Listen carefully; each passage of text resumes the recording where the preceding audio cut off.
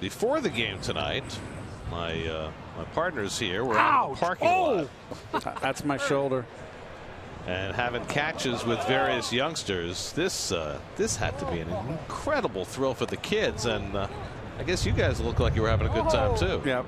And go ahead, Ron. Well, that youngster right there could really play. If you watch him, he oh, well, didn't go for far enough. He could really play. I think he was like 13, 14 years old. He could throw. And folks, I don't know if you noticed, but the little boiler I was showing out there, it was not. It's not the case. I was wearing a very thick vest.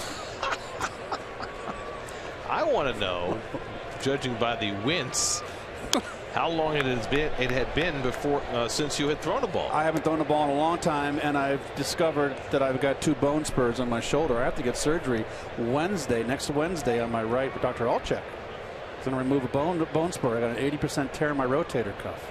So you're going to be in a sling. Uh, I'm going to be in a sling uh, for three weeks. It's going to be a 10 to 12 week uh, recovery, and, um, and so that's why I got it in there. I wanted to get out there with the kids and the fans before I get under the knife.